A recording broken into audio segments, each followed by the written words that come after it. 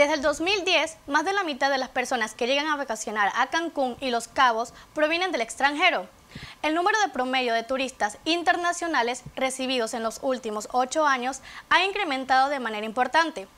De acuerdo con información de la Secretaría de Turismo, solo en los primeros cuatro meses del año en Los Cabos se recibieron 580.226 turistas extranjeros, que significó el 81.5% del total de visitantes. Cancún es el destino turístico que más visitantes recibe en todo el país.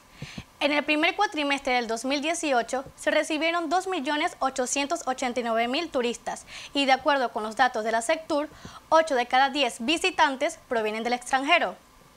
El volumen de turistas internacionales en Cancún ha crecido en promedio de 3.36% en los últimos ocho años. De todos los visitantes que ha albergado este destino desde el 2010, el 64.6% es de otras nacionalidades.